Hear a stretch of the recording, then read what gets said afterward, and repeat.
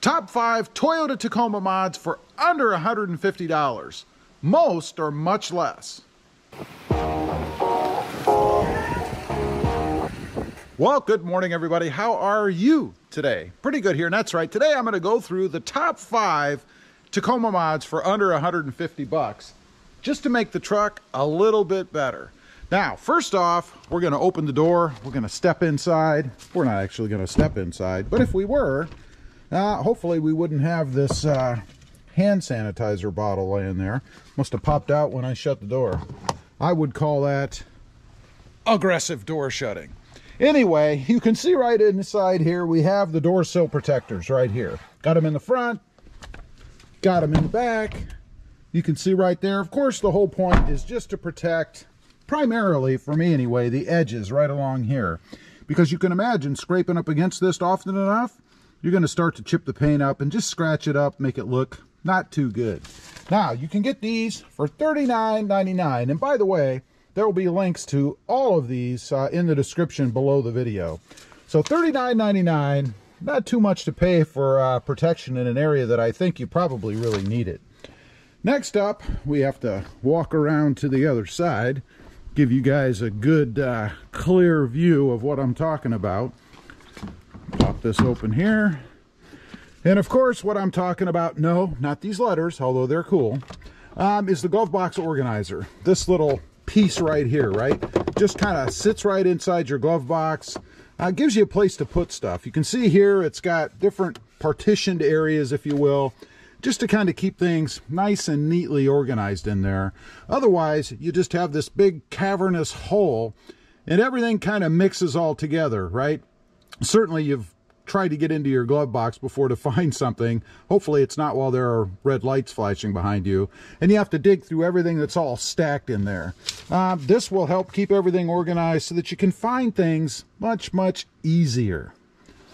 Next up, while we're in here or on this side, all-weather floor mats. You know, these are a must. And I gotta say, um, by the way, before I forget, the uh, glove box organizer is $18.99.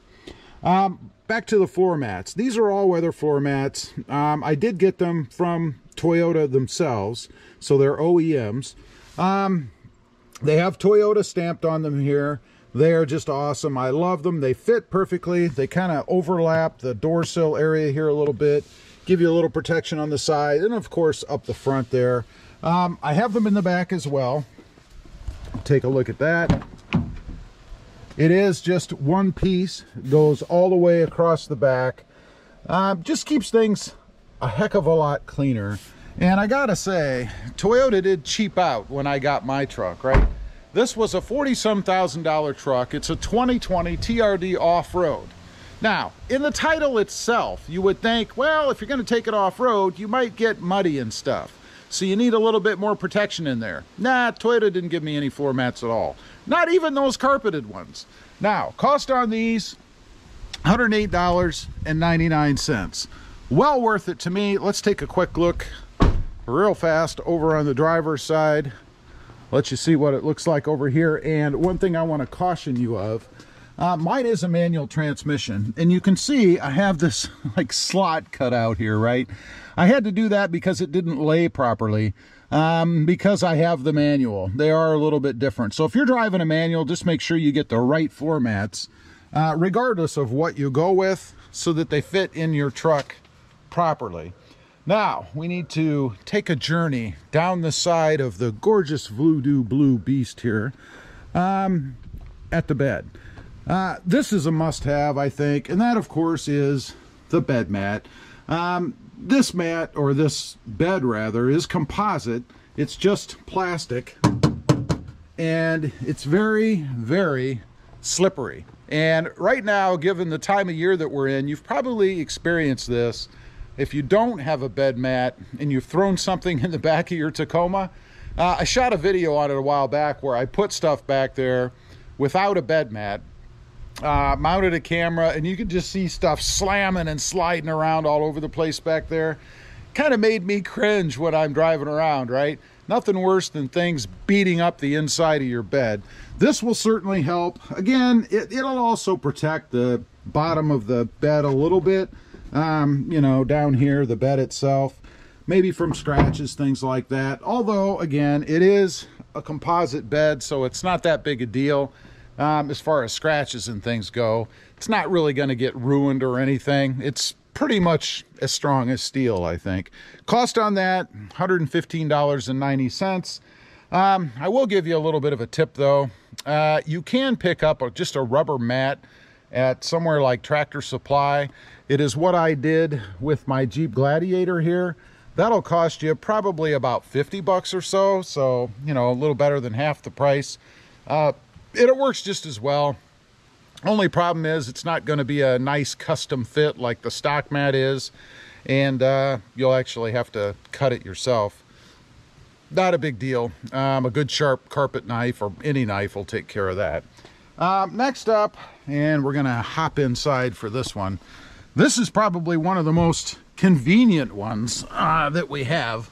By the way, we still don't have the uh, handrail here or the uh, little grab handle to pull yourself in. I'm working on that. I have a company that supposedly, and it's not the one all y'all are thinking of, it's a different company, um, that says they can supply this. I have one on order. I am impatiently waiting, I guess. But the last thing that I'm going to mention here, and I'll give you guys a little bit of a demonstration as to how easy this is. And this is, of course, um, if you don't have the uh, RAM mount system like I have right here. There's a whole video on that. And what I'm talking about is a cell phone holder. You know, we all have cell phones today, right? I mean, if you don't have a cell phone, I'm not sure how you survive. Uh, but this is a Scosche magnetic suction cup uh, cell phone holder. It's the best one that I've ever had, excluding the more expensive RAM mount that I have in the truck now. So as far as installation, it has a suction mount on it. It has a magnet on the other end. Um, you just take it like so. I'll show you here, we're going to try to do this with one hand. Push it up against your window, pop the little lever down there, and that's it. It's stuck on right there, right? Now, with your phone, um, you just need to put this little mag, or not magnetic, but steel metal plate on the back of your phone. Uh, it just is held on by double-sided tape and it works really, really well. I've never had one fail. Um, and then you just go ahead and stick your phone on. Um, of course, it's going to be at a different angle than that. I'm just doing this to uh, to show you guys for demonstration purposes. Um, one uh, note of caution with the magnetic or the suction base, I guess. Um, if you leave your truck sit outside and it's really, really hot, uh, or if it gets really, really cold, that suction base will break free and it will fall down.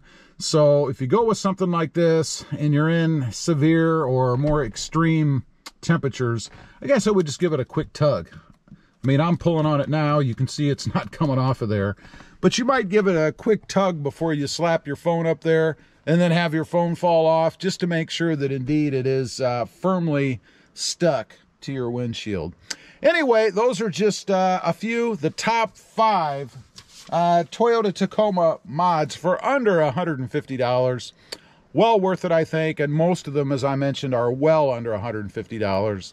In case you're curious, all of them can be had for $315. That's the grand total of all of those. So if you're looking to purchase the whole kit and caboodle, uh, there you go, $315. And right now, given that we're in the holidays, or if you're a Prime member, I suppose, uh, you're not going to pay any shipping, so that'll be it. And I find that all of these are usually in stock, so they're not difficult to get. Anyway, leave a comment down below. Let me know what you think. Do you have any of these? I'm sure you probably do. They're very popular, I know. Let me know if you like them. Also, real quick, if you're interested, Check out my other channel. It is all about my 2020 Jeep Gladiator sitting right out there. Don't forget to click that notification bell so that you don't miss out on any upcoming videos. And do me a favor, smash that subscribe button. Thanks for watching. Stay safe out there. Bye.